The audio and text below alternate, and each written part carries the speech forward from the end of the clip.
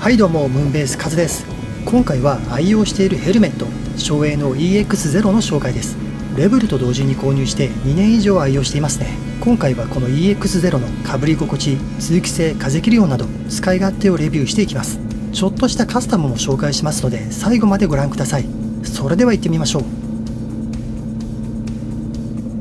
この EX0 は1980年代のオフロードスタイルをベースにしたシンプルでスタイリッシュなデザインが特徴です。最新ヘルメットみたいな複雑な凹凸やパーツがついていなくて卵のようなつるんとしたシンプルなシルエットがむちゃくちゃかっこいいです。自分はフルフェイスよりもオフロードスタイルのヘルメットが好きなんですよ。口元の尖ったデザインがなんかスーパーヒーローっぽいというか攻撃的な感じがしてかっこいいんですよね。ちなみに初めて買ったヘルメットもオフロード用でした。自分の最初のバイクはオンオフ両用のホンダ AX1 だったんです。それでヘルメットもオフロード用を買いました。アライの MX エンデューロってやつですね。これにスワンズのゴーグルをつけて走っていました。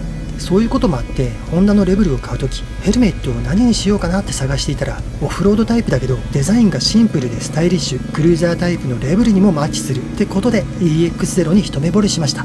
ただですね購入当時 EX0 がやたら人気でどこのバイク用品店を探してもなかったんですよ。しかも入荷は未定なんですね。これじゃあ納車時にヘルメットが間に合わないなってことで省エのショールームに問い合わせたんです。そうしたら欲しいカラーとサイズの在庫があるっていうんですよ。さすがショールームですね。価格は割引のない定価にはなるんですけどもフィッティングやサイズ調整もしてくれて信頼感も高いんで省エのショールームで買うことにしました。省エのショールームではですね細かくサイズを測って内装にスポンジを追加したりフィッティングの調整もしてもらいました。おかげでフィット感は最高ですね。圧迫されてきつくなる場所はないし隙間があって緩くなるところもないです。はいではちょっと前置きが長くなりましたが EX0 のレビューをしていきましょう。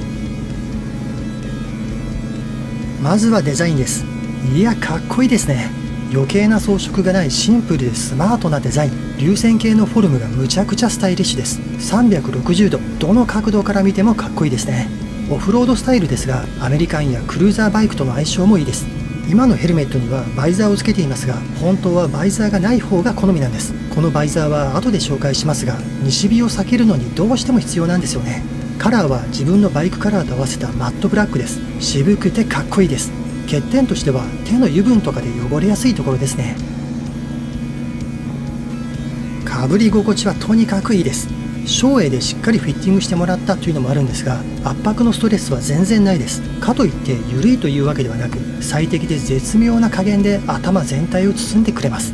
ヘルメットの口元が前方に突き出しているんで頬の圧迫感はゼロです。フルフェイスの場合は頬が押されてきつかったりしますが EX0 はそれがまるでないのがいいですね。ヘルメットの重量も軽いんです。他のヘルメットと重量を比べてみると例えば M サイズの場合 EX0 は 1.18kg 他のヘルメットはこんな感じで EX0 が圧倒的に軽いのが分かりますね。ヘルメットが軽いんで長時間かぶっていても首や肩が疲れないのが良いです。視界が広いのも良いですね。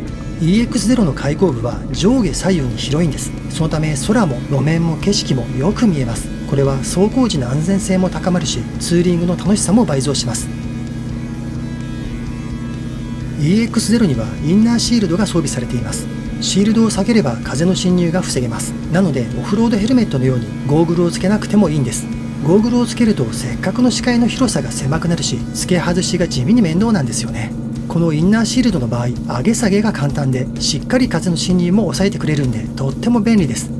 もちろんゴーグルをつけることも可能なんで昼はミラーシールドのゴーグル夜はクリアのインナーシールドみたいに使い分けも可能です。通気性はとにかくいいです。インナーシールドを閉めても完全に密閉するわけじゃないんで風は吹き込んできます。口元の通気口も閉めることはできないんで風は入ってきます。といっても目が乾くとか息ができなくなるほど風が入るわけじゃないです。適度プラスアルファの風の吹き込みですね。そのためバイクならではの風を感じながら走ることができます。メガネも曇ることはないですね。夏も蒸れることはなくて涼しいです。ただですね冬はそれなりに顔に冷たさは感じます。ただ頭の通気性はあんまり良くないですね。最新のヘルメットみたいに頭に風を通す機構はついていないんで夏は頭頂部が蒸れますね。通気性が良いということで風切り音はでかいです。耳元を風が抜けていくんで風切り音はかなりしますね。時速40キロを超えたあたりから自分のしゃべる声も聞こえないぐらいゴーゴーと風切り音が響きます。オフロード系のヘルメットはこれが当然と思っているんで自分は気にならないんですがフルフェイスを使っていた人はびっくりするかもです。インカムについては自分は使っていないんですがどうなんでしょうね。昔 B コムを持っていたんですが EX0 って耳にインカムのスピーカーをつけるスペースがないんですよ。なのでつけると耳を圧迫して痛かったんです。それで使うのをやめました。あと風切り音もすごいんでちょっと使いづらいかもしれませんね。とはいえ EX0 でインカムを使っている方もいるんで耳の形や薄型スピーカーを使えば使えるのかもしれません。自分は EX0 にバイザーをつけています。純正ではなくてジョンソンヘルメットのマッドバイザーをつけています。本当はバイザーはない方がデザイン的に好みなんですがただですねヘルメットの開口部が広いせいもあって西日が凄まじく眩しいんですよ。ツーリングの帰りに西日に向かって走っている時なんて前が見えないほど眩しいんですね。かといってサングラスやスモークシールドを使うのは嫌だったんでバイザーをつけることにしました。